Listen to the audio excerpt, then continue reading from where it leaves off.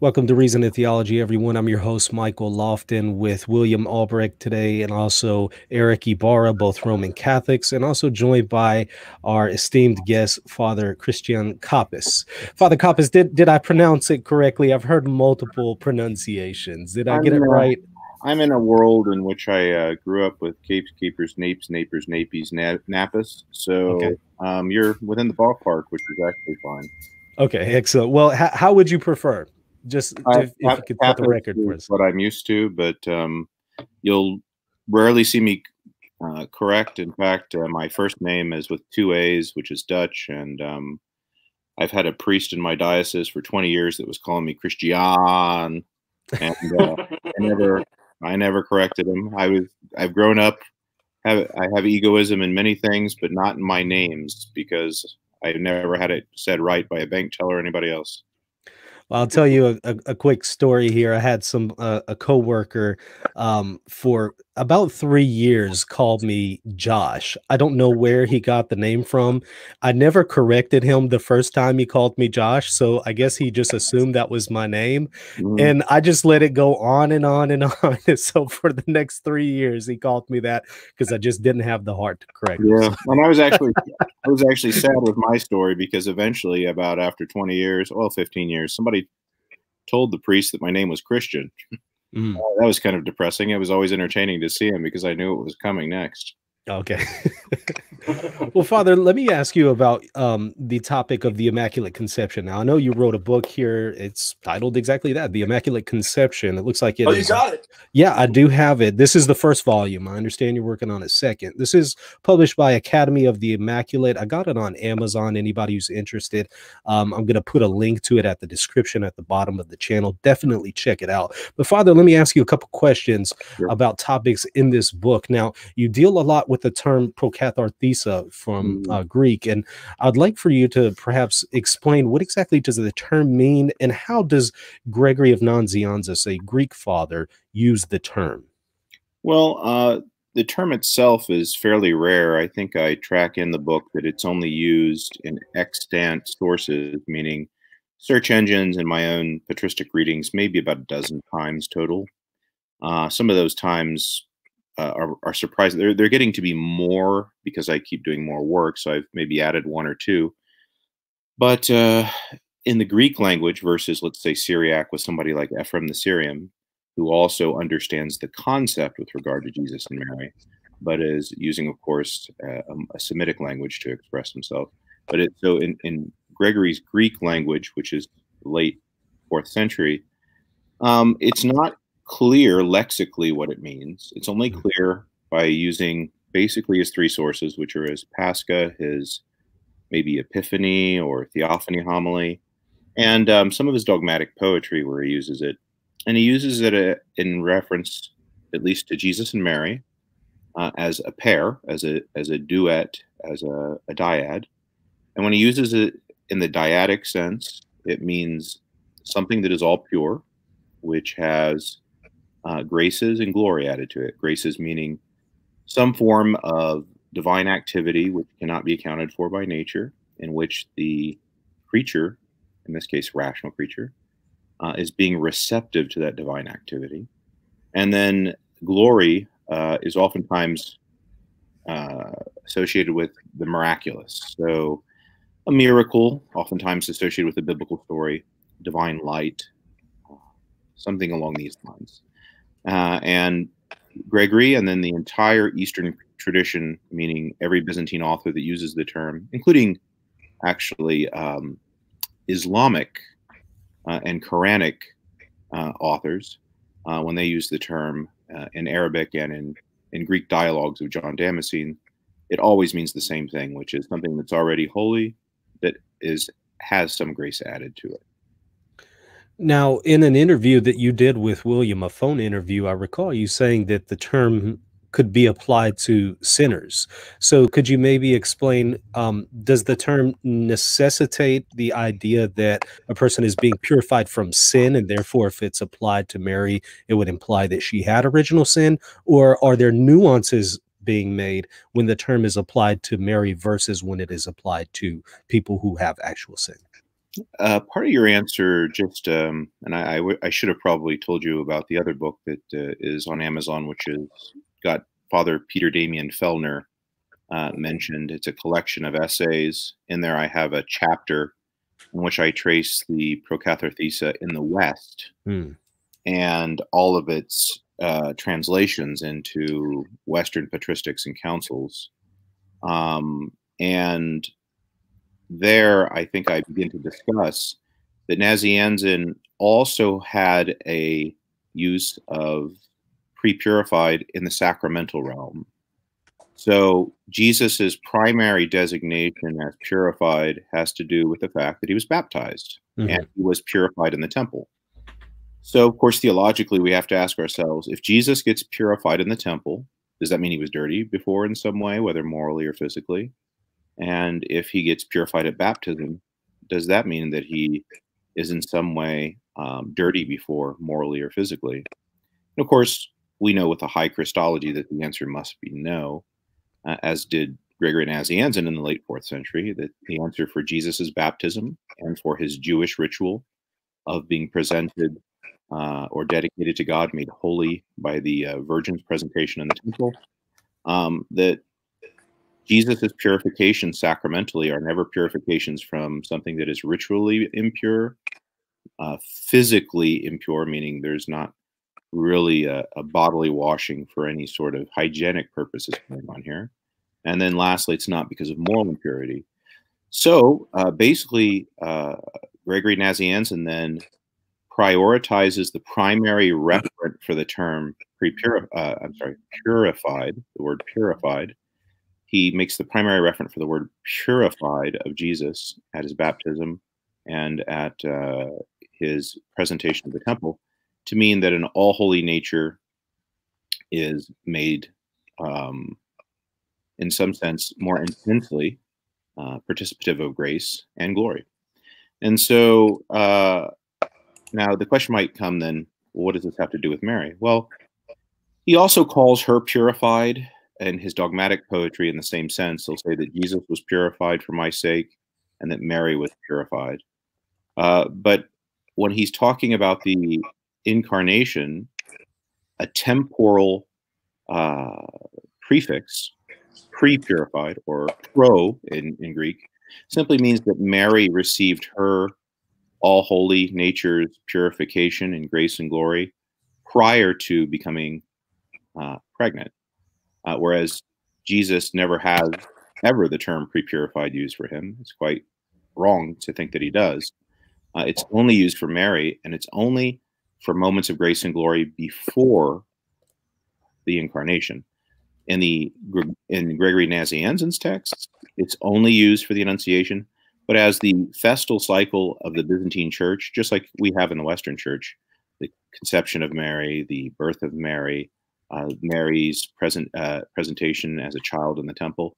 As the feasts increase, the Greek Orthodox tradition starts to use the term pre-purified also to to refer to all these events because they're all liturgical events where grace is given to Mary. She somehow has a deeper experience of of God's action in her uh, in that moment, and at the same time, she has uh, something glorious that happens. So we know, for example, if she's presented in the temple, is that she has angels minister to her, or when uh, she is when she is born, there's these miraculous events that happen in the Protevangelium of James, or when she conceived, this is a miraculous event in the Protevangelium of James. And so all these moments are called uh, eventually by Greek Orthodox fathers. We can call them Catholic if we wish. It's it's it's arbitrary at this time to use either one of those designations until you probably get into the 13th and maybe even the 16th centuries.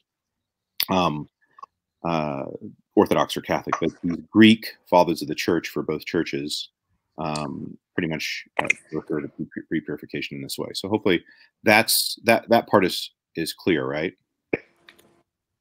Now you you say that the term is applied to Mary um, by Gregory. Um, as happening prior to pregnancy, but how mm-hmm. much prior? would he say that it goes back to conception? And if if not, um, no, why is no. it irrelevant? No, he's not really interested in the conception of Mary because the only feast that exists in Byzantium at the time is Mary's motherhood, which is at that time uh, within the post-festive or pre-festive days surrounding Christmas. So there's no reason to talk or apply pre-purification liturgically to a liturgical feast that doesn't even exist. Mm -hmm. um, and so what he's simply stating is her nature is pure and that it has grace and glory. Now, you and I might want to say, well, if she has an all pure nature, where did that all pure nature start? Well, we never get a sense that it was dirty and then made pure because that's not how he uses the term with Jesus and Mary. But then there comes your sacramental question. But he does talk about pre purification in the traditional sense of Dionysius uh, of Alexandria, using it um, from the third century in his his uh, notions of purification of body and soul sacramentally or ritually to take the bodily impure and purify them. This is this is what Gregory does. Now he's got a basically two different applications. He has this immaculate world of Jesus and Mary, where purification, or and with Mary, pre-purification is equivocal. That is, when all pure natures get in touch with rituals that God gives them or sacred moments, they increase in their human experience in the mystery uh, of God, but they don't have anything to be. They're not. They're they're gold that's already refined. They don't have to have any dross burn away.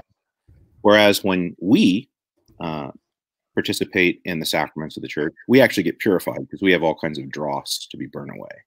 So the term is used by Gregory to be equivocal. So for the prophets, Moses and John the Baptist, they are pre-purified, let's say, or um, or purified. It depends on, on which text you're looking at. For Gregory, they're they're almost always purified, though, in the liturgical hymnody that that stems from his theologies. Moses and John the Baptist are called pre-purified. So what a purification pre-purification means is they do a series of ascetical labors, fasting, prayer, uh, watching.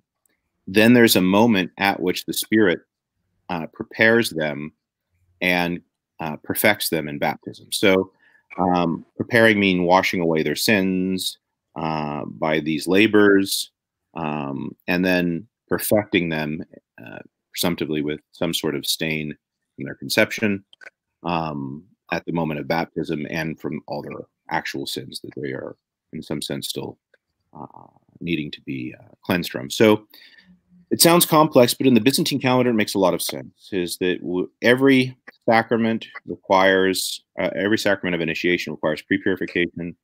Every prophet, before he participated in the prophetic grace of God and was himself given something, the quasi experience of baptism, the quasi experience of God's presence that we get in the sacred mysteries, he had to be pre-purified. But when Jesus himself experiences the sacraments, he doesn't need any dross taken away. He just needs to have his humanity uh, more deeply keep experiencing temporal these graces that are the in modern orthodoxy the divine energies of god. And um, let, let me ask two more quick questions then i want to pass it on to erick. Um, when would you say the first time the term prokathartheisa is applied to mary's conception? When, when was this?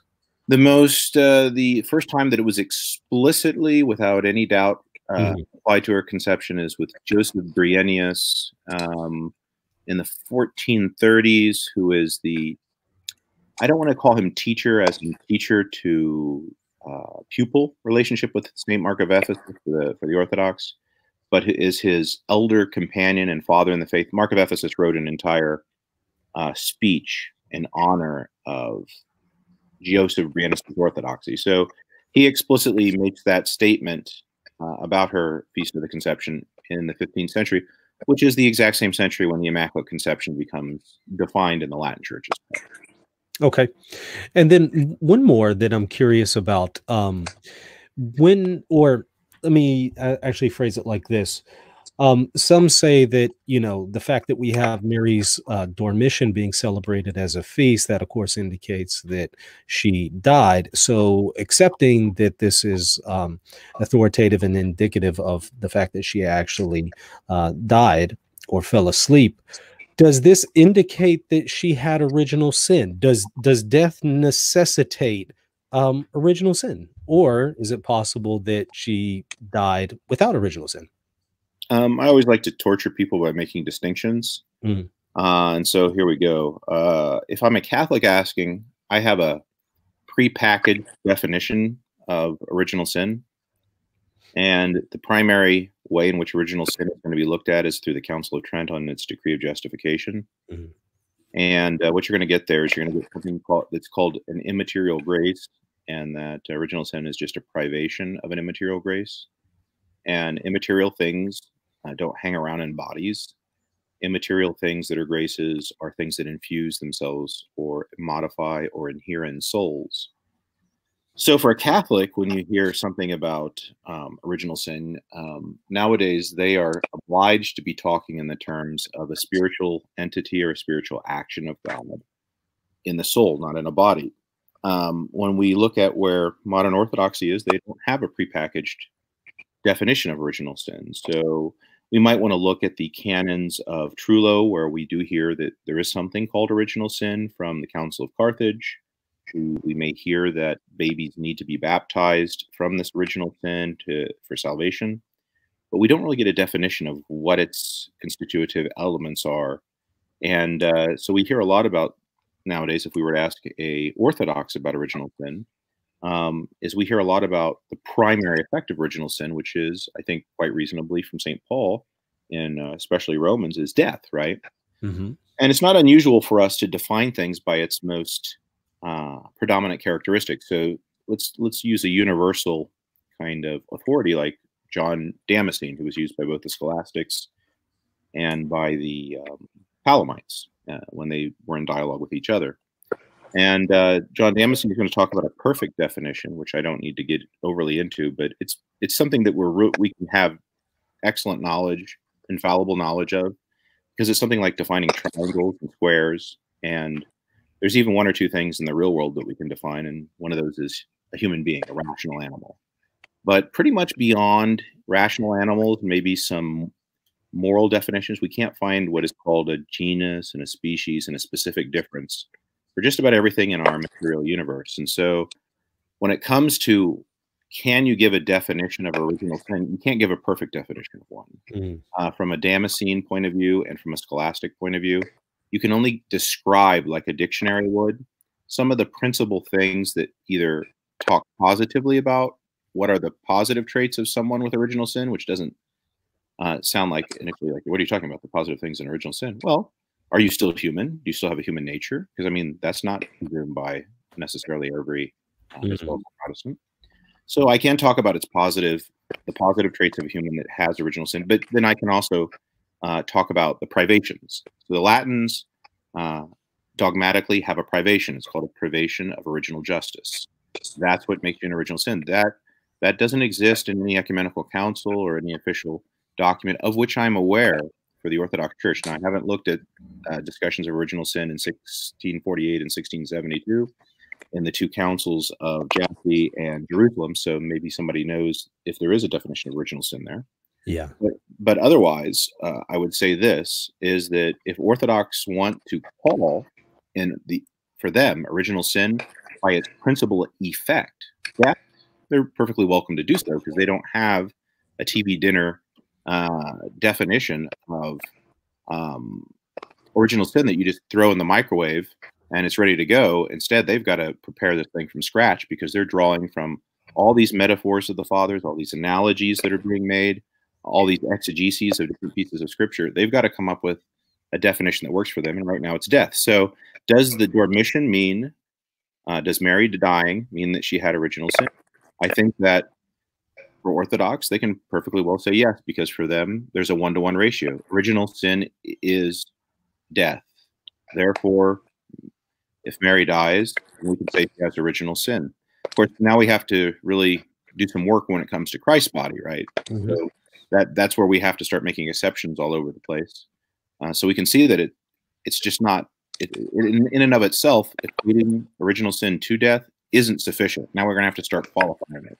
And the question is, to what degree will an Orthodox theologian allow himself to qualify Mary as exempt? And, that, that's an open question. Whereas for a Catholic, uh, it's if you look at the decree of Pius IX, the question is: Was did Mary have a privation at her conception of original justice, or its equivalent, sanctifying grace, uh, in the sense of making you just before God versus uh, a child of wrath uh, before God? And the answer is no. He had whatever grace was necessary in order to be a child of God at the moment of her conception, not a child of wrath. So it all really just depends on how we're defining original sin. Yeah. Uh, do we use a um, standardized definition or do we use a more free uh, attempt at giving a definition because we prefer this father or this description over that? Excellent. Well, I have some more follow up questions, but I'm going to wait until Erick and William get some of their questions in. So, Erick, go ahead and jump in here.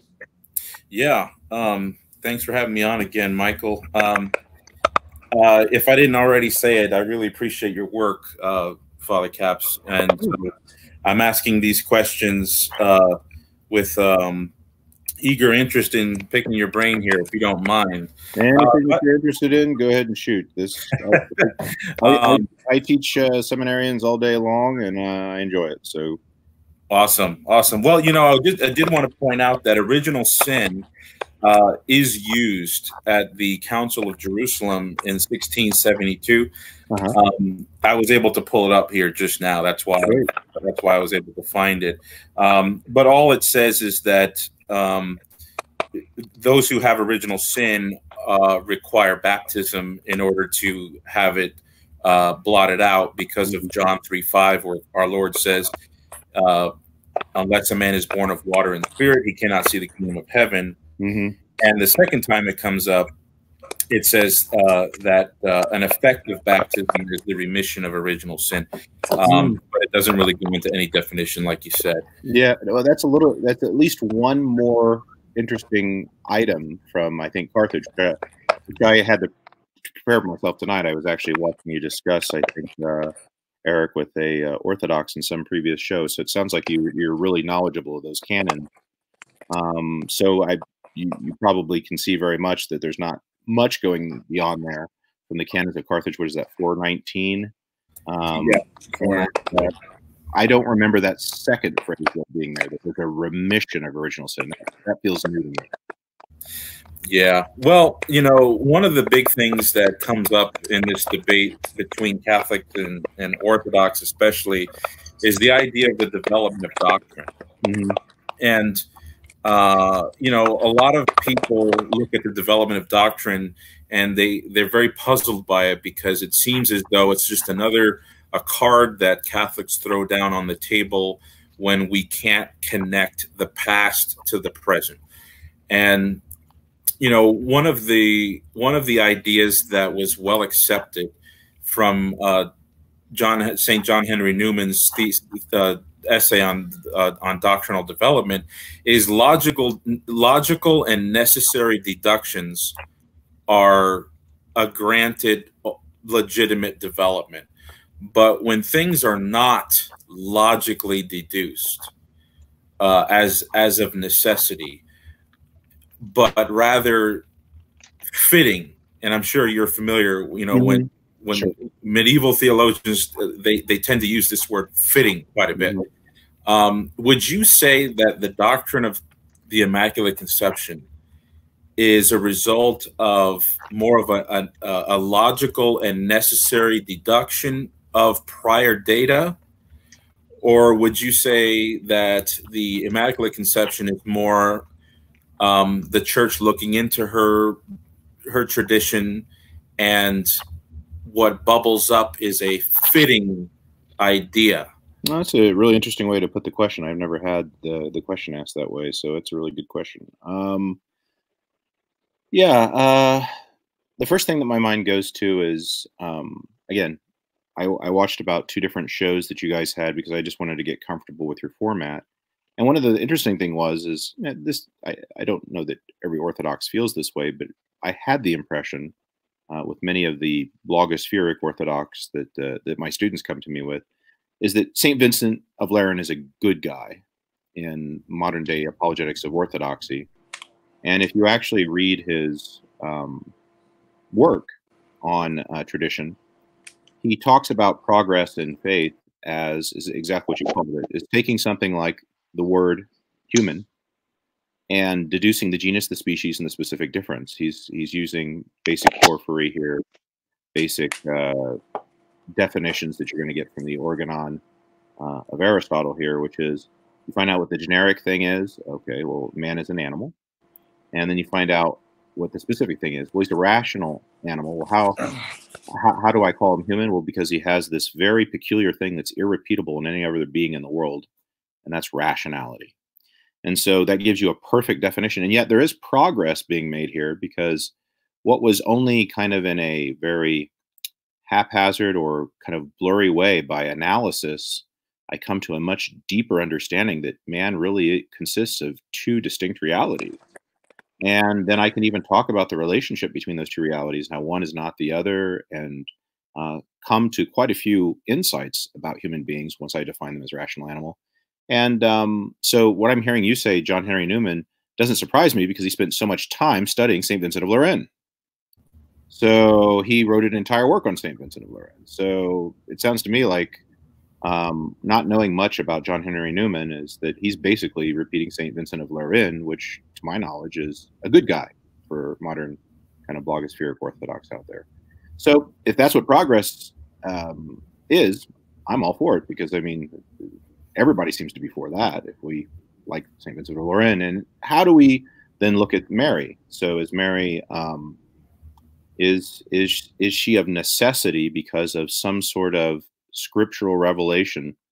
Does some text necessarily implicate her as all immaculate?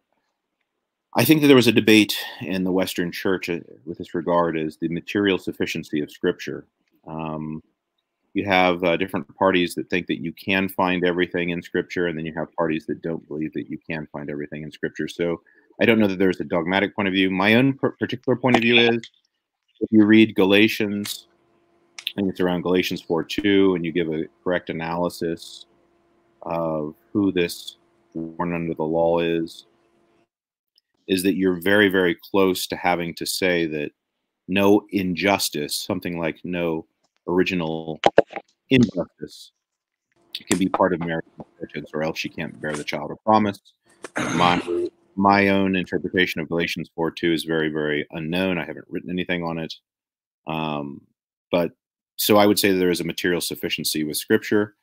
Does that mean that she doesn't die? Because for Orthodox, the issue is uh, is Mary exempted by death? Death being, in some sense, an effect of original sin, and in fact, what we're going to call original sin um, I don't think that there's anything in Scripture that that makes me believe that Mary is exempt from death.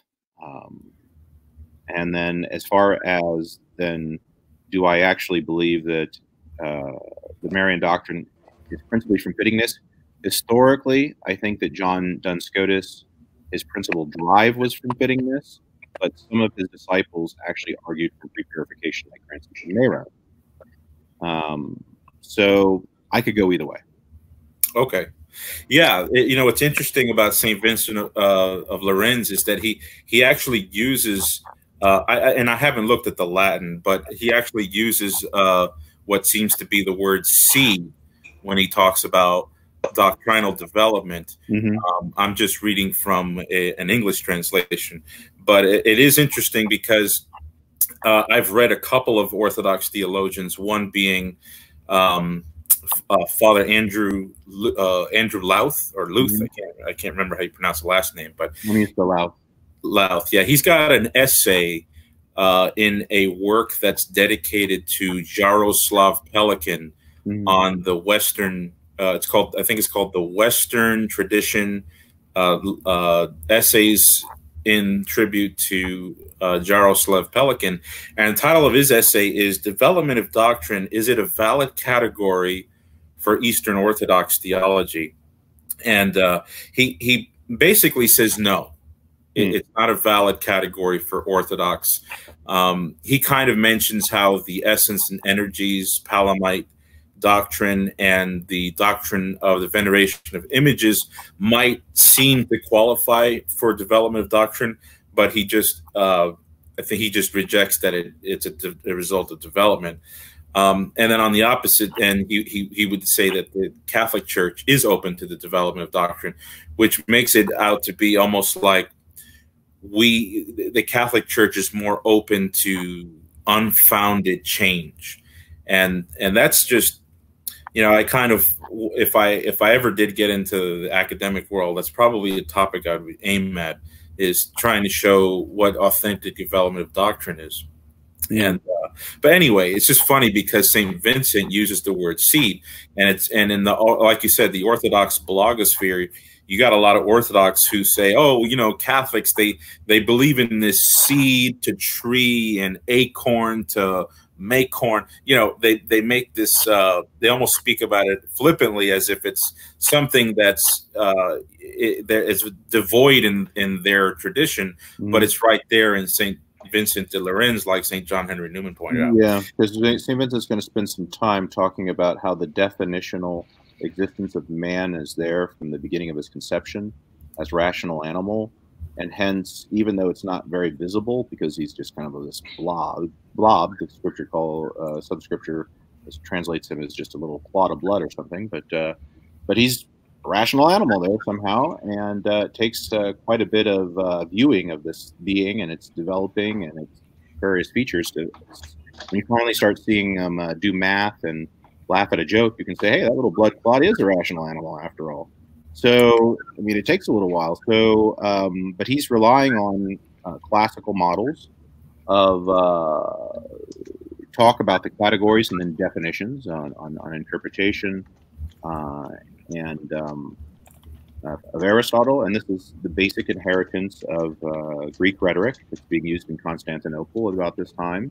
It culminates in these uh, rhetorical handbooks that are being used in 500s in, in Constantinople. You can't really talk about things without a definition, so everybody understands what a perfect definition is. Everyone's aware of this. This isn't syllogistic theology. This is analysis. The genus and a species can be taken from an essence of a thing. So that's all, all, all I'm saying going on here. So to me, it's not very controversial, but then again, um, I'm just some little blip on the uh, Eastern Christian screen. So.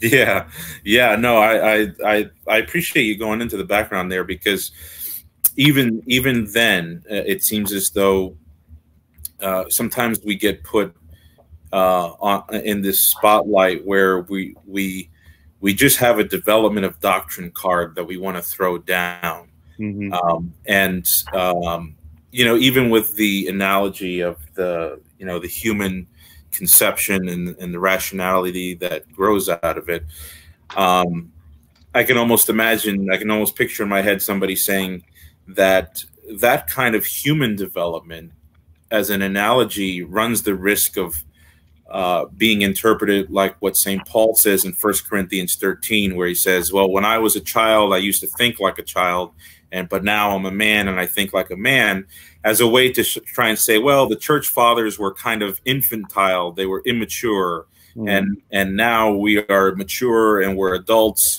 and we get to you know think different things. And so even then, with the human development, would you say that there's still a fine there are some boundaries? And, and I think St. Vincent provides those boundaries. Am I am I correct? Yeah, basically, with the way that essential definitions work is um, uh, there's only there's there's only so many limits. there's only so many words that you can choose to define a triangle without making it into a square or a hexagon or a circle.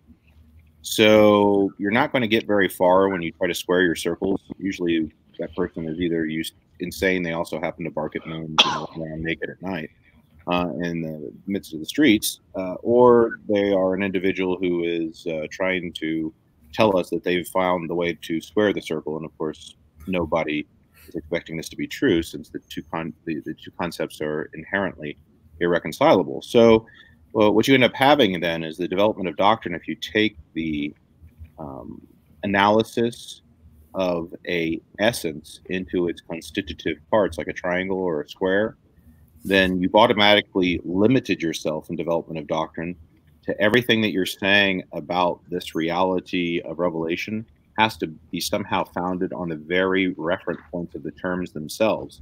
You're just making them stated more clearly, or you're taking parts. So the, the obvious one is with Christology, right? So if we say in the somebody like Athanasius, if he wants to tell us using a synecdoche that uh, that he's completely that Jesus is completely God, and he's but he's God that took on uh, human flesh, and that human flesh includes a, a, soul. So he's trying to say he took on humanity. Um, it, it, took several hundred years of reflection on the what the essence of humanity was. Does humanity have a will? And it's only uh, several hundred years later that it, it's seen not as something purely accidental to a human definition to be a freely willing kind of being to have that capacity, but something essential.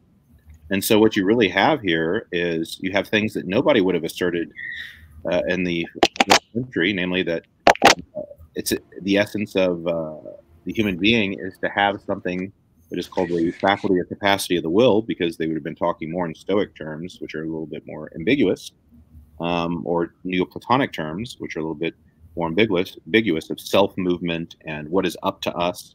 And then all of a sudden you see this perfection of, of, of language of the human will by Augustine, and then uh, Maximus, who's potentially influenced by him.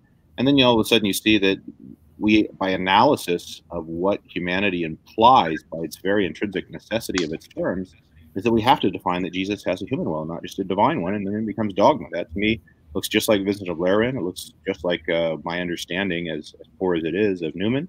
And uh, that's how I would at least frame um, the discussion of the development of doctrine. Yeah, it sounds it sounds like what you're saying here, Father, is exactly what Saint John Henry Newman said when he when he said, "Ideas have consequences," and when when an idea is unpacked and developed and dissected, it's not an idea being added to with other things that are foreign. It's the idea becoming more of itself. Yeah, and, the viewer, right? Yeah, yeah. That's I I I I'm a I come from an Anglican background, so Newman was uh, he was very influential, but I don't quite know the um the you know the, the Greek the, the Eastern theology like you're bringing out here, which sounds like it's very complementary and not contradictory. Yeah, yeah, I think so. I, basically, with Latins that are doing any sort of thought in this regard in the fourth and fifth centuries are using these a, these kind of uh, kind of messy uh, Latin translations of uh, Greek basic logic that's going on, including including Augustine himself. So they're, they're, they're relying on these logical handbooks that are basically uh, commenting on um, the basic corpus of Aristotelian logic, and um, so it's, it's no surprise that Vincent's aware of this, Augustine's aware of this. Um, but uh, you you have to spend some time in the sources for it to just feel like it's obvious where it's coming from. Yeah, I just have one more quick question here. Mm-hmm. Um, being a former Anglican, uh, I, I, still read a, a, quite a bit of Anglo Catholic material. And um, there's a, a, book that was edited by uh, an old late Anglican. He's passed now, Eric Mascall. Um, and the book was called uh, The Blessed Virgin Mary. And in one chapter in that book, um, I guess they were taking from, you know, John St. John Henry Newman's uh, the dictum, ideas have consequences. Mm-hmm. And they were saying that the primitive doctrine of the Virgin Mary being the second Eve is an idea which, if it's going to remain itself, requires the Immaculate Conception. Now, I don't know if that's stretching the boundaries, but I was curious to know what you would say about that, where her office as the second Eve has bound up within it mm-hmm. the notion of her being, you know, conceived immaculately. Well, I, metaphors are always um, difficult because it's, it's hard to know how many of the qualities of Leo the lion I'm supposed to give you. Are you because you're so hairy that you're like Leo the lion, or is it because you're so brave and you're so courageous? So um, it's difficult to to say how many of the things are applied to Eve, but I think we can say how many things aren't applied, and that would be fallenness and sinfulness and doing things against God's will and disappointing Him and causing chaos in the world. So it seems to me that I've never thought about this before, but it seems to me that you're already on pretty solid ground if you're starting to advance the Eve theory as at least necessitating as a consistent metaphor a sinless from the first moment of her existence Mary. And if I don't use the kind of Western terminology of Immaculate Conception, I think it's just avoiding a terminology which usually has a lot of baggage that comes along with it because Um, we think of it in not even 19th century terms. We think of it in blogospheric terms, which are usually claiming that Catholics are somehow Augustinians.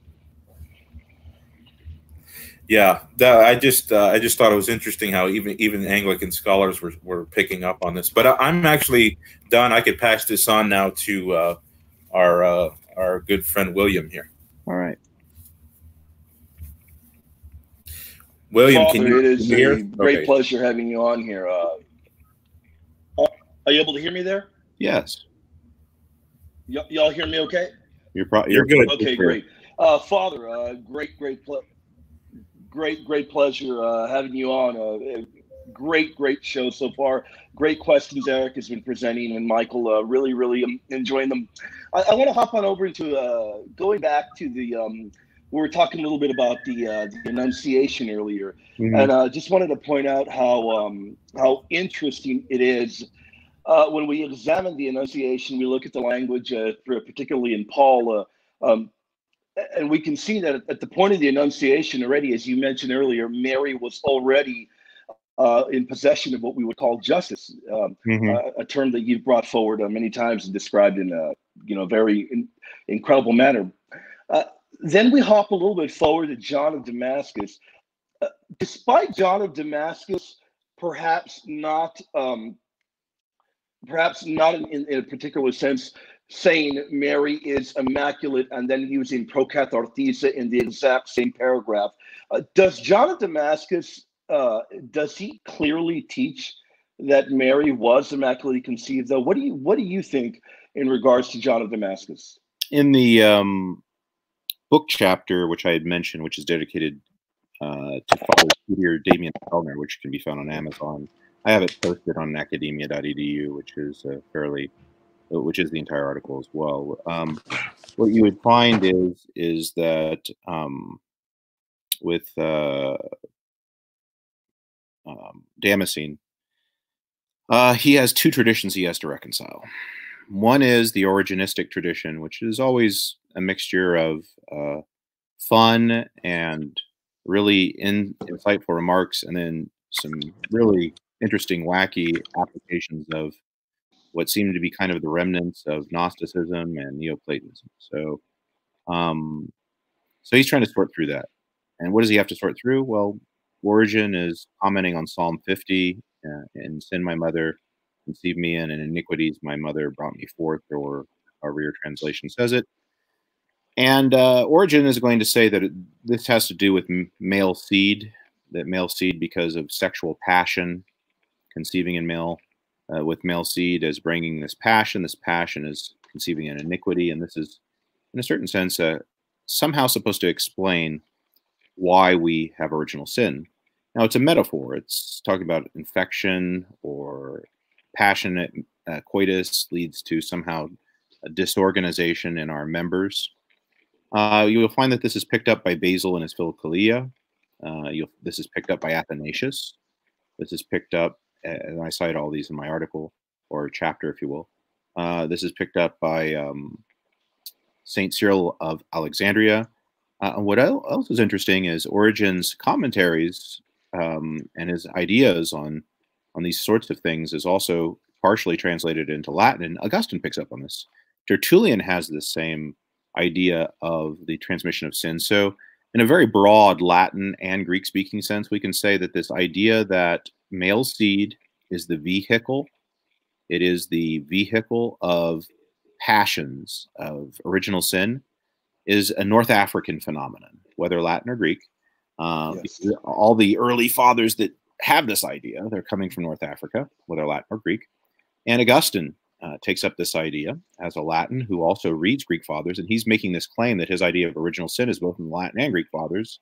And he, it turns out to be right, even if he doesn't get every um, necessarily passage uh, that I'm talking about. So uh, John Damascene then has to deal with this rather vague idea that sperm is uh, ejaculated in the midst of passion, and therefore it conveys passion. Is it a metaphor, or is it to be taken literally? Is it really an explanatory reason why we have an original sin, or is it merely meant to uh, be a sort of idea that oh well, there's passion and disorder in fallen sexual uh, lust, and therefore, in some sense, it's symbolic of something that's happening at a deeper level. Well, in one of his works, which I quote, uh, Damascene solves this question, and he says, "Look, sins are about moral actions. Moral actions are in the will. The only thing that sin is spoken of in the literal sense is the will. So clearly, Damascene sees a division. He sees a division between sin in its literal and in its univocal sense is a moral action of a free person. In its metaphorical sense, it's it's it's uh, it's this passionate sperm. So what does he do for Mary's birthday homily? He says, "All right, I'm going to deal with all you passionate sperm, you know, junkies out there that are really into this metaphor on Mary's birthday homily." He's like, okay, so Joseph ejaculated. He uses a medical term that's very typical in, in Byzantine medicine. He says, okay, uh, Joachim ejaculated all pure sperm. Well, the all pure part of sperm is nowhere in medical literature. That's John Damascene's way of saying, you know, that thing you North Africans are into, you know, the the not literal sense of sin, uh, that sins can somehow be in little uh, homunculi, little pieces of sperm. Well, uh, okay, he had all pure sperm. Now, now my problem is solved. Whatever is conceived of a passionless sperm, well, that's in a that's uh, uh that doesn't have this original sin stuff. But that's not so. He is solving the problem. He's solving the problem in a very unique way, which I've never seen anybody else solve it this way. Uh, it was suggested, actually, at the Council of Basel by Latin fathers that if you could come up with a way to purify, they didn't have access to Damascene's sermon, but in the 1400s at the Council of Basel, they had actually suggested if you had a way of purifying uh, Joachim's sperm, you could get an immaculate conception that way. Well, John had already figured it out about 700 years before, and that was his solution. Nobody really got excited about that solution. It was a rhetorical solution. It was uh, against the North Africans, uh, but he did come up with a solution. Um, I don't think anybody's going to really want to be throwing that around everywhere, but it, it was a nice rhetorical solution.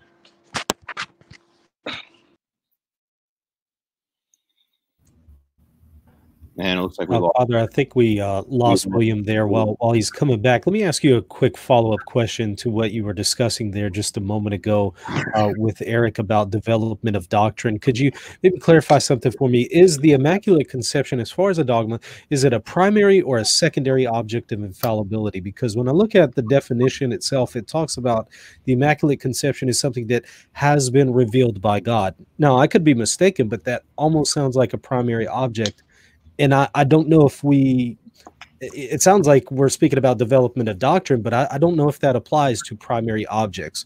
So, what what would you say is the magisterial status of this dogma? Primary, secondary object?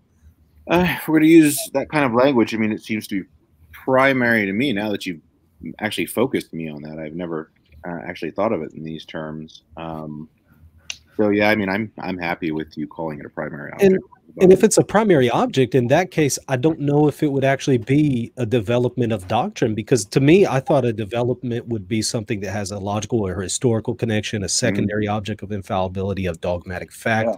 But mm-hmm. if it's a primary object, which the definition seems to imply that, I, I, I don't even know if we would have to pull the development of doctrine card because but it could be that when he you know when he says this in the definition that he says this is a teaching revealed by god could be that he means indirectly revealed as mm-hmm. a development of doctrine yeah the, the difficulty that you get into is i mean you um you know this is like catholic uh, technical speak but uh, the only thing that has per se infallibility in that whole statement is the actual dogmatic formula. Everything around it uh, may be magisterial, which means we're bound to try to give it assent of some sort um, mm-hmm. if it's a teaching. Mm-hmm. Um, and that, that definitely sounds like a teaching. Um, if yeah. we uh, if we have other statements since on the Immaculate Conception, provided they're consistent, then that's the that's the way we have to approach it. If they're inconsistent, then I guess we pick the one that seems to have the most authority uh, if it's not a per se infallible teaching. Now, as a primary object object of infallibility, it would be something that was revealed by God or an apostle. So, would you say that the Immaculate Conception was actually um, taught by one of the apostles or revealed by God in Scripture?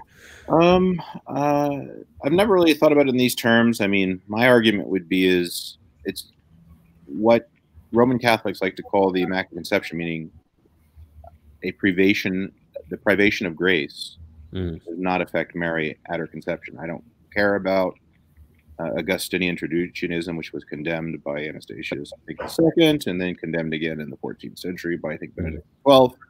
I don't care about that stuff. Uh, if we're talking about just a privation of an immaterial grace that mm-hmm. does not apply to Mary at her conception, um, I would say that the, tradi- the, the, tradition consistently is going to exploit Luke 135, which is the Annunciation, declaring her pro- uh, already filled with grace before the good news gets to her. Um, so this grace means that she's already justified at the moment of the Annunciation before she gets the message. Uh, I would, though, argue that Galatians 4, again, I think it's 4 1, 4 2, that if you understand what's going on with Mary as one under the law, and and that whole thing is that you can argue very very strongly there that Mary has no injustice, or else she can't bear a child that can get a Roman legal inheritance.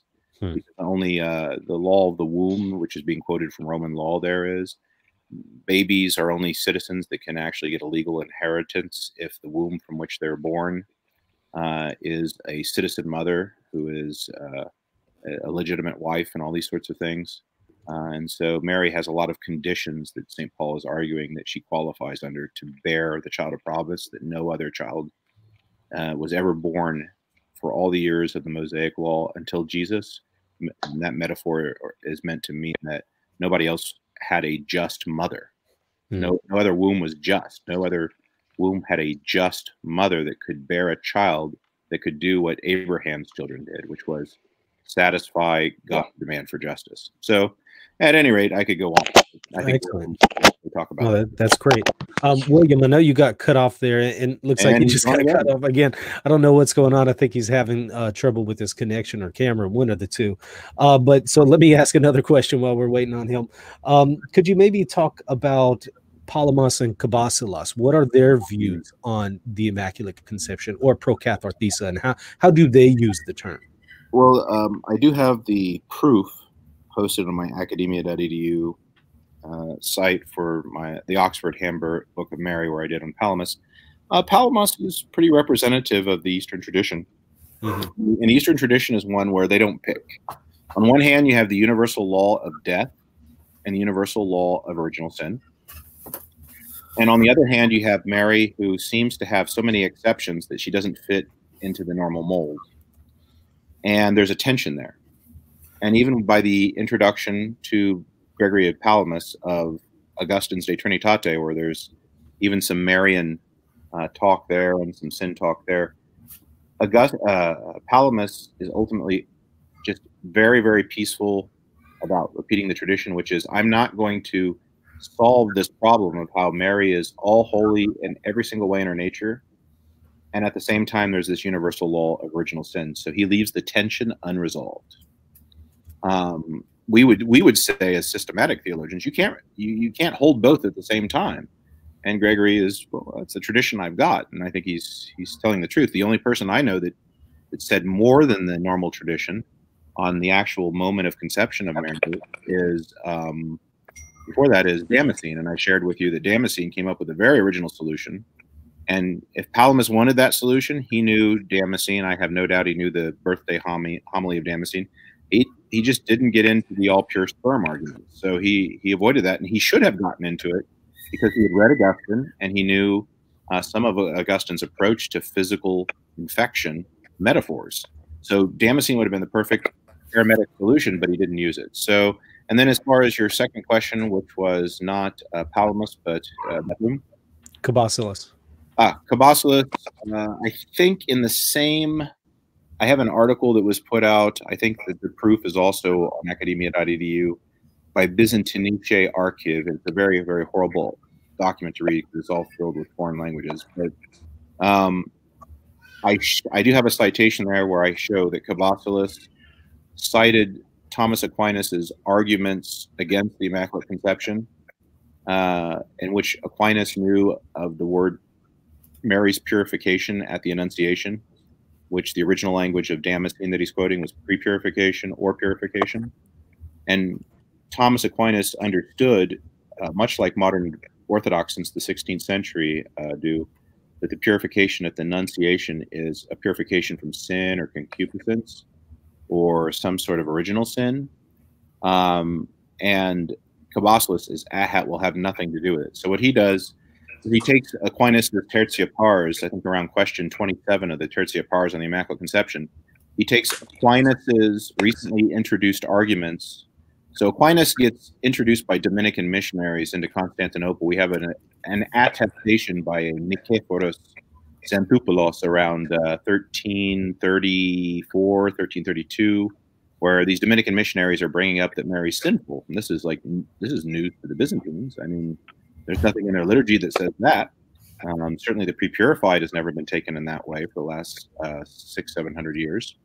Um, so they start discussing the sinfulness of Mary, and what you have is that with uh, Cabasilas's homily, he quotes uh, exactly and strangely Francis of Mayron, who is a medieval Franciscan theologian who dies in 1328 he quotes his solution, which is Francis of Mayron takes Thomas Aquinas's Tertia Pars question, I think 27, uh, which notes that Dionysius the Areopagite also talks about purification of angels, and angels don't have sin. How do they get purified?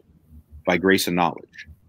So uh, Aquinas quotes that very thing in question um, 27. I can't, um, I should say, uh, article uh, I, I, I, don't remember the article. It might might be Article three, but at any rate, uh, he he quotes uh, uh Aquinas quotes uh, Dionysius, who acknowledges that there's this all pure, all holy, all positive purification of angels. And so Francis Mayron, around uh, the 13, I think 1318 or so, sa- says, well, you know what? Aquinas' question already solves the problem. If there's an all pure definition of purification, and it is used in in, in uh, Dionysius, then all you have to do is take Aquinas's own uh, find the Dionysius as an all pure definition of, of, of, purification and say what happened at the Annunciation by Mary getting purified in John Damascene just means that she got grace and knowledge. That's it. And so Francis of Mayron was the first one to rearrange Aquinas's own question in the Summa to argue from Aquinas's own sources for the Immaculate Conception.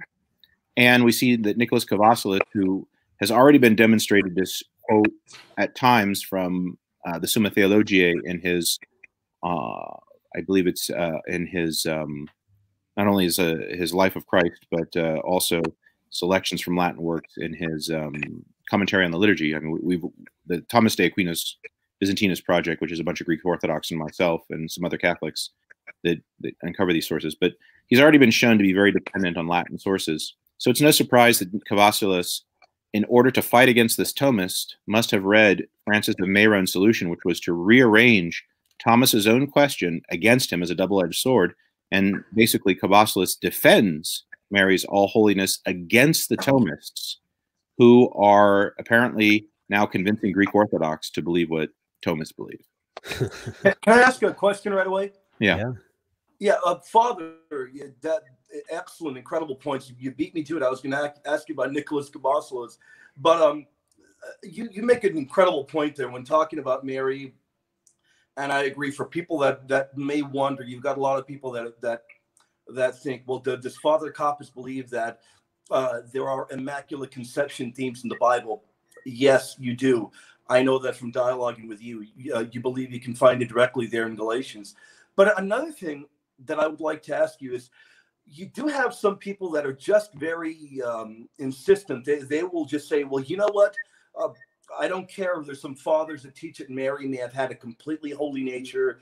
We want we want the meat and potatoes. We want references to Mary being immaculately conceived. What would you say would be really the earliest? Are there any fathers that talk about an actual immaculate conception? How would you reply to that? Well, um, as you were coming in and out of virtual consciousness, uh, you uh, probably didn't hear us talk about uh, John Damascene, so I'm going to skip that one. Uh, right.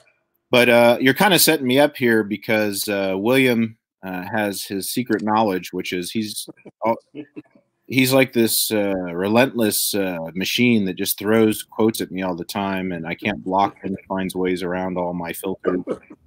And uh, he sent me one though that was very interesting the other day, which is um, he sent me uh, Romanos, Romanos we, we the Melodist.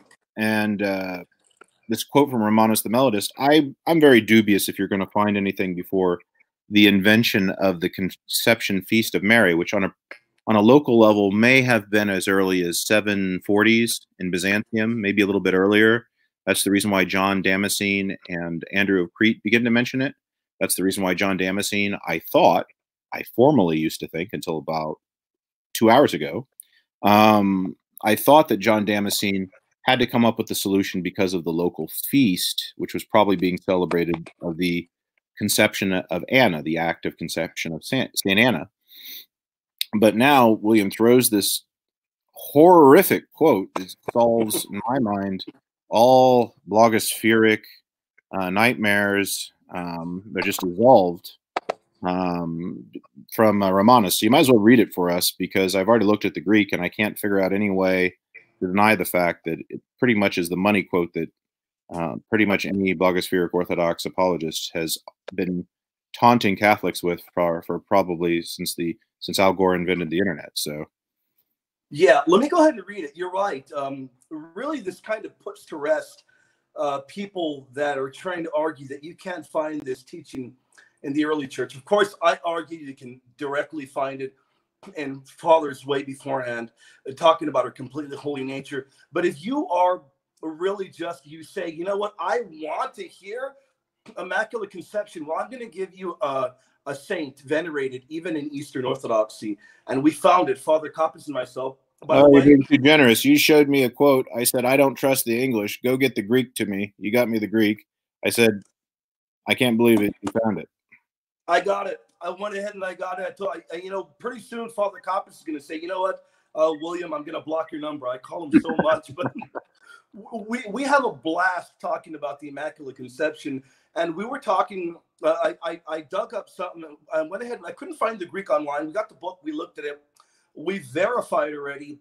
It is legit, and Romanus is saying there's a lot that he says, but the particular area that we really examined was he says, then the tribes of Israel heard that Anna had conceived the Immaculate One.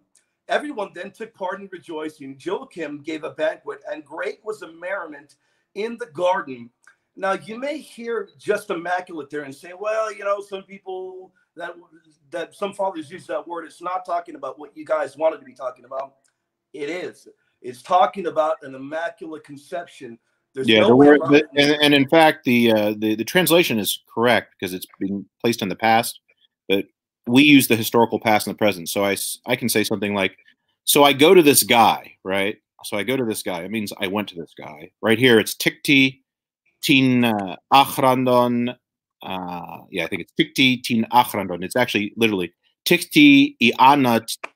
Uh, no, no, eteken, eteken, ana or Ia, yeah, I think it must be Iana, uh, tin achrandon, which means um, Anna conceived the immaculate female. So there's your money quote. If you uh, the reason why nobody's found it until now is everybody was looking for an adjective plus a noun. Immaculate conception. This is a Yeah. verb plus an adjective, meaning Anna's active conception. Anna actively conceived an immaculate person. Okay, there's your money quote. Now, is the debate done? Can we go home? You could just ignore my book now because all mine is like, you know, tracking the pre-purified and everything. Essentially, Romanus here in the most literal terms. If, if we were to take this and turn it into the money, the uh, the uh, Latin version, which is Conceptio Immaculata, it would be technosis uh, achrandos technosis, which would be uh, immaculate conception. Everybody was looking for something like uh, synlepsis, which is a medical term for conception. Technosis, or here eteken, means to conceive, and then achrandon, uh, tinachrandon means the female immaculate. So there you have it. Anna conceived the female immaculate. Case, Yeah. case closed. Yeah, I agree. There's really there's there's no way around that one. it, it is very very explicit. I'm glad I went ahead and I, I got uh, Romanos Greek and we are able. I, I, I look at it as, as, a sign from God. I was able to get the book just in time, right before the show. We were able to look at the Greek right before the show, and um, you you also did incredible in pointing out that Romanos recognizes when he's talking about original sin, he clearly knows what he's talking about here. Uh, you brought out a quote also where he talks about um, he understands. Uh, I think you were talking about biology, right? Uh, forgot exactly. Oh, he's he's using uh, you know the Psalm 50 that you didn't hear me talk about. Right. So uh, Origen thinks that Psalm 50, my mother conceived me in sin, and iniquity my mother bore me. That's used by Basil. That's used by Cyril of Alexandria. That's used by Tertullian. I'm sorry, not Tertullian. Uh, Augustine. Everybody in North Africa thinks that Psalm 50 proves that original sin is passed on in the mother's womb by conception, right? And then we have baptism in. Uh, do you have the actual uh, citation I gave you? Because it, it mentions the hymn if people are interested. Um, yeah, uh, I can pull that up. It's in Roman numerals, so hopefully that's not going to hurt you. Yeah, hymn 21. Hymn 21. It is directly right there. So hymn 21 basically quotes Psalm 50. It says that by baptism and chrismation, one is made clean uh, from the iniquity in their mother's womb and being born in sin. So here you've got Romanus, who has the exact same theory of original sin that we just heard about in Origen, we just heard about in Basil, we just heard about in Athanasius, we just heard about in Cyril of Alexandria, which is all mentioned in my book chapter, that it's at the moment of physical conception in utero and that it's in iniquity. Romanus has that same theology. And then he's also saying that Anna conceived an immaculate one, though he has this theology of conception being in an iniquity in one's mother's womb. So it's quite clear that he understands uh, what he's saying here, and he, and he could be if if if he didn't want people to mistake him as saying the Latin so-called Immaculate Conception, uh, then he should have picked different words because he's quite clearly confused the entire Orthodox Church now. Uh, if, if if in fact that's what their position is, uh, and then secondly, uh, there's another contextual piece here, uh, which is Romanus's understanding of embryology. He believes that at the Annunciation, an embryon, an embryo, that's the word that he uses, uh, an embryon is conceived. So he understands that this embryon that is conceived in its mother's womb is in iniquities and sins and needs to be cleansed in baptism. And yet he thinks that Anna conceived an immaculate person. That's very, very strange. Yeah, that's that's incredible. That really is incredible. And uh, um, I know uh, in a little bit I can look. I'm looking at the chat already. I see a bunch of questions. Um, so before we go to the questions, I will let people know, in case you all are interested in hearing more about this, uh, uh, hearing more about Galatians, which Father, uh, there's these unparalleledness and uh, commentary and that and what have you. Uh, Father and myself are working on a very important book project that will be out uh, in the future. we'll have more updates as well, and we'll talk about it more here in Reason and Theology for anybody that wants to look deeper. And then who knows, maybe we'll even talk more about Romanos mm-hmm. in that book. You never know. Uh, Father, if it's okay, could uh, we go to a couple of chat questions? Sure. Looks like Tony P asks, um, "Have you read Christopher Veniamin uh, in his works? He's an Orthodox scholar. He wrote about Cabasilas and Palamas, saying that both didn't teach the Immaculate Conception."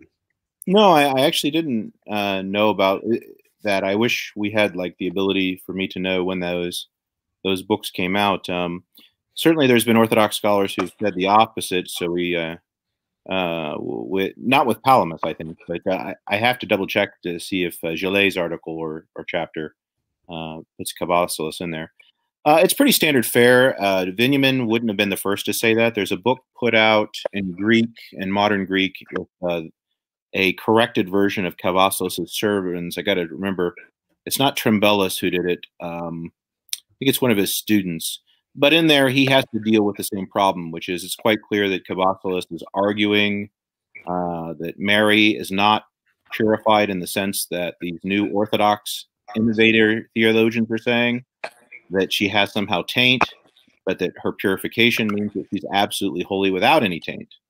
And um, basically, once you realize that he's citing Francis of Mayron, who himself is reformulating Aquinas's uh, book three question, 27. This is the reason why the Thomas de Aquino Byzantinus project is so important, which is a project where we're um, publishing all the versions of Thomas Aquinas's works and other scholastics works in critical Greek editions because we can we can tell you what these authors are quoting from. If you're just reading texts and you don't know who the author is quoting from, you may take him out of context. But if you actually know who Cabasilas is getting his information from, then you can actually figure out better what Cabasilas is trying to tell us. What Cabasilas is trying to tell us is, I like Francis Mayron. He gave Thomas Aquinas the run for his money on this. Um, looks like Craig truly asks, Father Kappes, have you read every mention of the word pre-purification in the Octoikos? Um, I don't remember if I've read the whole Octoikos. Uh, I think I've read about nine mention, nine months of the Menaion, maybe ten. Um, I would say this much is that for the Feast of the Annunciation, it's basically John Damascene's version. Uh, to my knowledge, there are there is only one hymn in the festal hymns and the Octoikos, which says pro. I'm sorry, pre purified in Greek. I'd love to know if he's found um, in basically the months June, July, no, May, June, July. I haven't read the Menaion for that. So if you find any saints that use pre-purified in in uh, May, June, July, and I think the last three weeks of the Octoikos, I don't I've thoroughly read. So if you find anything in there, I'd, I'd love to hear hear or see it because I'm trying to collect as much as I can. Aaron asks, um, Father Kappes, uh, does the Immaculate Conception still assert that Mary was tempted by sin? If not, why? Uh, Christ had no sin and was still tempted. Um, I don't know. The Byzantine tradition of Mary's temptation is kind of messy. Um, the time that they talk about her is because Origen talks about Mary's struggle uh, at the cross, and Origen has this idea that Mary had almost, if not definitely, sinful doubts on the cross when she saw Jesus getting crucified. What you'll see is that Basil picks this up and he has to like clean it up a little bit, but he doesn't do a great job at it. It's still fairly faithful enough to Origen where you're kind of uncomfortable with Basil saying, "Can't you be a little bit nicer to Mary here?" And uh, then finally, Cyril of Alexandria really cleans it up, and then the rest of the Byzantine tradition is that Mary never had any. So you you will find the tradition of Origen gradually getting purified. Byzantine theologians are very conservative. Um, and you'll also see that John Damas, uh, I'm sorry, John Chrysostom has about two homilies that I'm aware of where he has a very low Mariology. Of course, the Antiochian Church denied the title Theotokos in the fourth century, maybe because of Julian the Apostate making fun of Mary's title Theotokos in reaction to that. Um, and John Chrysostom coming out of this low Mariology. Uh, my friend uh, Father Philip Roshka, who just got a doctorate at Notre Dame on John Chrysostom's liturgical year, read all 900 of his sermons, and I said, "How many times did you find Theotokos in John Chrysostom's work?" He says, "Oh, maybe once or twice." So John Chrysostom was not against the Theotokos. He was the he was in Constantinople. He never railed against it, but it's simply he had a very low Mariology that he was starting with, a very low Christology he did better than Diodor and Theodore, it would appear, uh, uh, fared in later centuries. But uh, it's no surprise to me that he was also struggling with this. So, does Mary patristically uh, struggle with with passions? Somebody like Chrysostom and Origen are going to say that she actually struggled personally with passions, like uh, as a non all sinless person. Uh, I'm sorry, as a as a sinless or at least a concupiscence, a person with concupiscence. And uh, the rest of the tradition that I'm aware of, Mary is going to be more like Christ. All the temptations are external only. That means a foreign force is trying to take her passionless person and to, in a certain sense, tempt her reason or her logical skills, but can't actually bring her into a, a situation where she is is filled with bad passions. Go ahead. Okay. Um, Craig asks a second question Is there no exception in the ancient church that the meaning of the term pre purification pertain to a completely holy and sinless nature, not one who was purified at a later point in time? Um, was the question in the early church or to Mary? Uh, ancient church. Oh yeah, no. Pre-purification always means if you're a normal guy that doesn't have a all holy nature like Mary and Jesus and the dyad, any person that's getting baptized or any prophet needs to be purified from dross, from sin. So yeah, all over the liturgical tradition, you're going to see when it's applied to us mere mortals uh, and uh, who are post-lapsarian. Oh yeah, we need major pre-purification from moral faults. When it's propo- when it's when it's proposed to Jesus and Mary, it's, it's an equivocal sense. So there are two senses, and they're applied liturgically very consistently. Um, Elijah asks, um, are there fathers that teach that Mary had concupiscence or fathers that taught that she didn't have it? If so, how do we answer the former who taught the latter? Well, uh, of course, we can't consider Origen a father, so hmm. we could say that he doesn't count. But Basil, Basil was struggling with it. He wanted to try to fix it, but you can see that he's still not totally kicking uh, Origen to the curb. And then, of course, we have Chrysostom. So you do have, to my knowledge, right now, you have two exceptions. We do learn, though, that the Antiochene school was constantly struggling with a low Mariology because uh, at the Lateran 649, the title Immaculate uh, is officially brought into this council and then gets repeated thereafter at, at councils, and it's meant uh, the best ex explanation we have for Mary being called Immaculate. I'm talking about conception. There is no feast of the conception. It's not necessarily being applied to the conception. It's this term that's meant to refer to her as all holy. And uh, in, in Lateran 645, 649 is because there's Christians running around who are probably Nestorian or Antiochene Christians who are saying that Mary has sinned during her life. So that was excluded in Lateran 649. That title gets repeated all throughout the Council in 680. Basically, we're stuck with an All Holy Mary and, and Orthodox and post Chalcedonian uh, theology. Uh, if you want to embrace low Ethiopian Mariology, I don't even know if, if the the Eastern, uh, if the Chaldean churches embrace that that theology. I know that John Meyendorff had a famous statement where he kind of held up Chrysostom as saying that you know, I mean, Chrysostom even had a homily where he said, well, you know, Mary needed to know that she was uh, how she got pregnant. If the angel didn't answer her question, she would have committed suicide. Uh, that's that's more or less the implication. Now, is he using very very exaggerated, typical Chrysostom rhetoric to make a uh, pastoral point. argue he is. Uh, do you really want to form a Mariology based off of those kind of sermons? Well, apparently some people still do. He asked a second question Did Mary have prelapsarian flesh?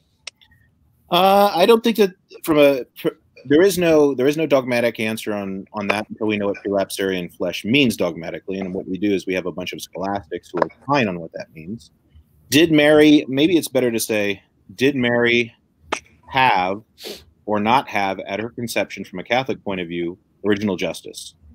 And I think that the answer is yes. She had original justice, uh, or at, the very least, if you're going to deny her original justice, since that question, to my knowledge, is not dogmatically answered, that she had sanctifying grace, either of which exempts you from being a child of wrath.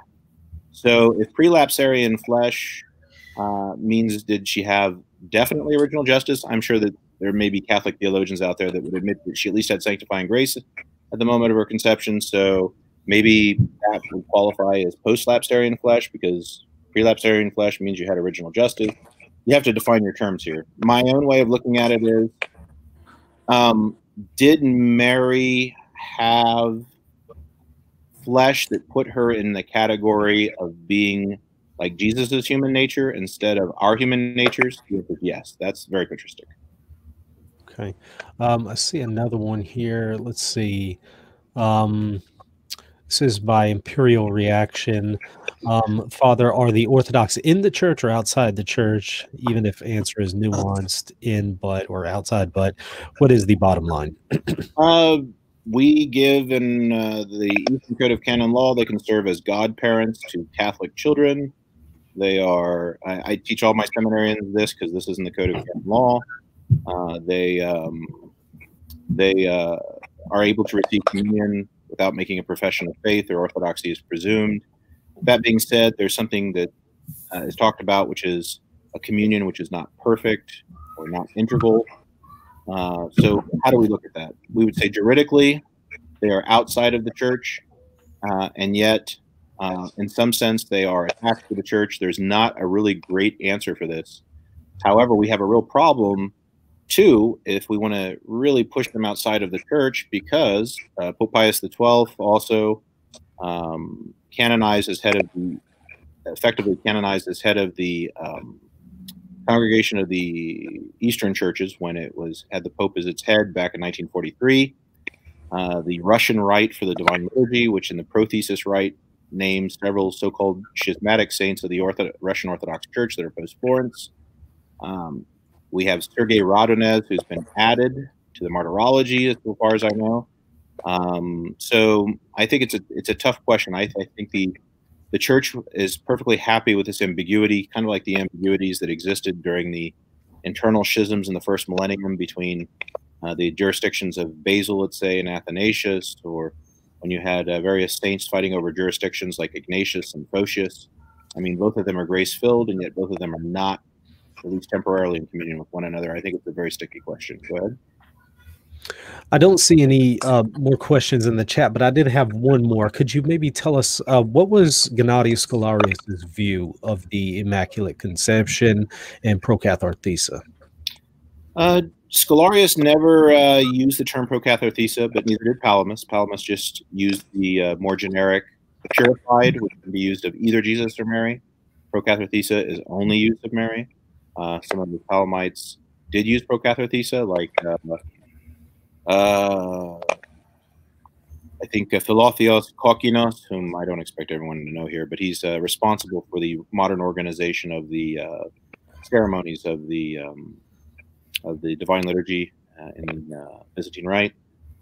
Uh, there, the uh, Gennadius himself principally argued his position on the Immaculate Conception based off of his understanding of the general Eastern tendency towards Mary's all holiness, and then he adapted Aquinas's texts uh, and potentially arranged Aquinas's themes with Franciscan questions in the background. So it's complicated.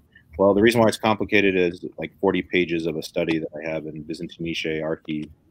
And um, in, in the end, um, you would find that he is not as explicitly into the Prokathartheisa as other Palamites like um, uh, what is his name? Uh, So.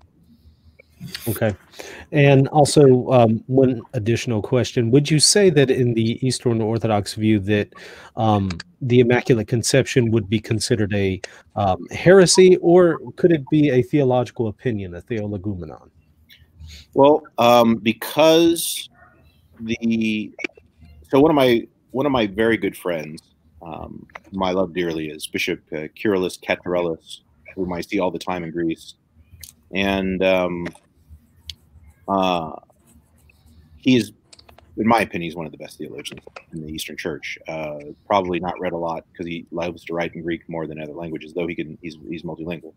But at, but at any rate, uh, he's going to insist that the Greek theologians that are representative of his school are going to take the principal effect of the fall, which is death, and that death is the primary way to define original sin, and therefore, um, original sin, uh, because liturgically Mary died, and the doctrinal for the Orthodox in the sense that the liturgy cannot be a false worship to God.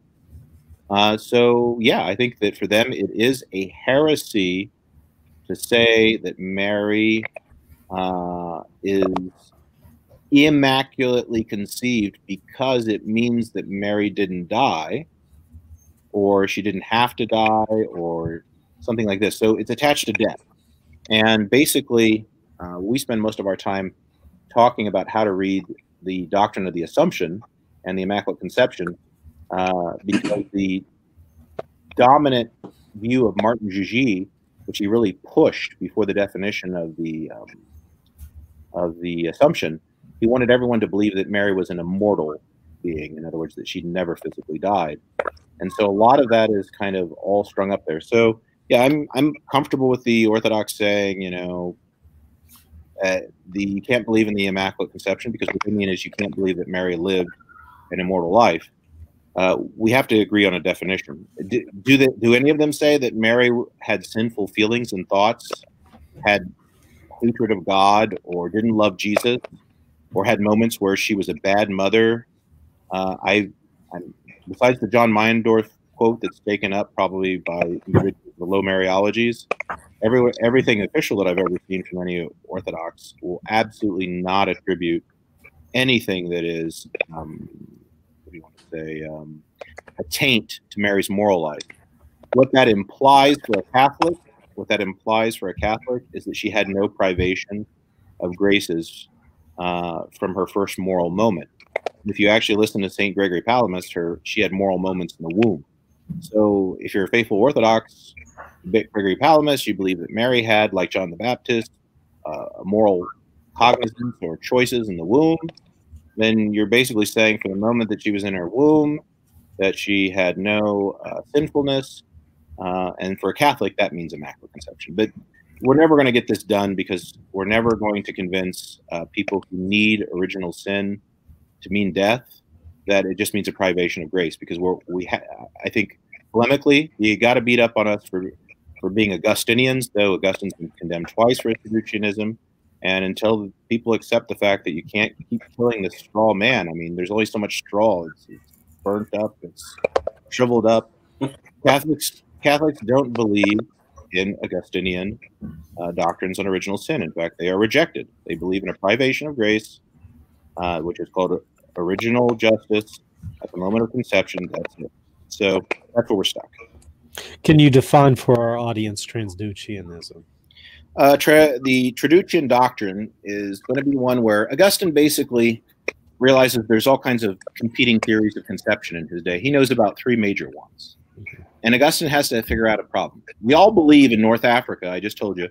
Uh, Origen believes, Athanasius believes, uh, Basil seems to quote with approval Origen, who believes this, uh, Tertullian believes, Augustine believes that sperm passes on sin. Well, how do I account for sin in the soul or passions are passed on by sperm? He says, oh, there's this you know idea out there that when a man and a woman copulate, they don't they don't only they don't only produce the soul uh, the body, but they produce through a natural process the soul. And because the dirty body, the passionate filled sperm, is in some sense the producer of the body, that it produces a dirty soul. And so dirty bodies produce it, it, it's sort of like I, ha I, have to say it since you know we all have to talk about it obligatorily now. It's the ancient coronavirus. It's, it's, it's the conceptual coronavirus. The, the, the coronavirus that is so powerful that at the moment of conception that it actually infects your soul and you can't get rid of it. And with the, with the craziness that's out there right now, of course, it does seem like it's affecting everyone's souls. So, at any rate, um, this is not this has nothing to do with Catholic doctrine. It was played with, it was toyed with. People tried to make sense of it for centuries, and all the scholastics after Anselm just got rid of it because you can't do anything with it. The only thing you could do is what Damascene did. Sin is a moral choice. So if there is some sort of thing wrong in man, it is that his moral faculty is in some sense not what it once was. What was it not? It was something that once had aids in making its free choices that are no longer there. And those aids are graces, and those graces are gone. And because it has no longer a strengthened will in whatever way to make with ease of passion choices, now it has passionate choices because the will is in some sense not as strong as it once was. So until people get that through their head that this has nothing to do with Augustine, we're just going to be in the same spot. Yep. Traditional Christian asks about your second doctoral dissertation on Saint Gennadius um, mm-hmm. Scotus and the essence and energies distinction. Is it available for everyone to read? Oh, it's still being corrected. It was like 500 pages. One of my uh, good Greek Orthodox friends, she's she's a trooper. She's going through it and correcting everything, and uh, it's been like three months, and she's still correcting it. And that's that's pretty much like her full time job is to correct this dissertation. But it it will supposedly be produced. It will be published by the Theological School of Halki uh, under the Ecumenical Patriarchate. I was invited to publish it.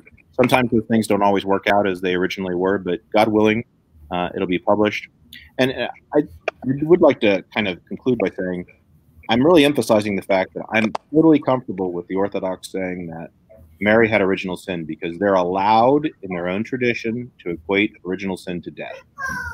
I'm just saying that that has nothing to do with our doctrine of original sin, and so for us, that makes no sense. There, there were two people who asked this question. This will be the last one. I forget who the, who is the other one, but I think Craig is repeating the same question. Um, how can John of Damascus believe in the Immaculate Conception when he taught that Mary uh, turned her away from every carnal desire, um, and turning away from carnal desires only possible in the post-lapsarian state? I mean, is it a grammatical necessity? She turned away from every carnal desire. Um, if she walks in front of naked people, um, could that qualify as a carnal desire? She did not choose to think of those naked people. Uh, she turns away carnal desire. Are we talking about an intrinsic carnal desire? In other words, Mary is thinking of inappropriate sexual actions. Is that what? Is that what Craig Trulia believes that the Orthodox Church treat, teaches. If he believed that the Orthodox Church teaches that Mary was lusting in her bed at night, thinking about men that she would like to be sleeping with. Position. Um, actually, th there's one more from Samuel because I think this has come up quite a few times. Does your book cover every usage of prokathartheisa that exists, or or is there um? Oh, no. yeah, no. There's there's prophets. There's prophets. There are uh, baptized. Um, there's so many. There's so many places that is. it's. it's there's probably 20 or 30 places that it's used, um, but those are baptismal or other. Okay.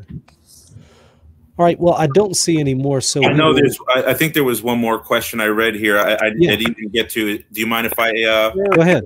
Go ahead. Okay. Um, Imperial Reaction asked, um, "What did Father Kappes think about Canon 844.3 does that mean that you know literally the ecumenical patriarch can just waltz into a Catholic parish and receive communion, or is there some qualification for the separated Eastern churches receiving from our cup?" from a from a canonical point of view, there really is none. In fact, the ecumenical patriarchate could walk into the church and do that, and probably the reason why Pope Francis would be sweating to death is because he might be politically savvy enough to know that the patriarch would undermine his own authority by doing that. Um, but technically speaking, I know of no restriction um, on that. There, there's been questions. I'll tell you that the Italian Bishops' Conference had to ask uh, can we restrict uh, Orthodox who have been divorced and remarried without an annulment? Annulments are offered in the Orthodox Church as much as we hear that they're the dumbest things ever. They, I, I know Orthodox who've gotten annulments because they exist in the Pedalion. But at any rate, um, if Orthodox, if Orthodox get annulment, uh, if Orthodox have not gotten an annulment and they're divorced and remarried, can they receive Holy Communion? Up until the Italian Bishops' Conference, only for the regions of Italy made the decision that they can't, uh, they could. So obviously there can be restrictions put on it. The, the point is, is there haven't been restrictions other than this one in Italy that I know of that have been put on it.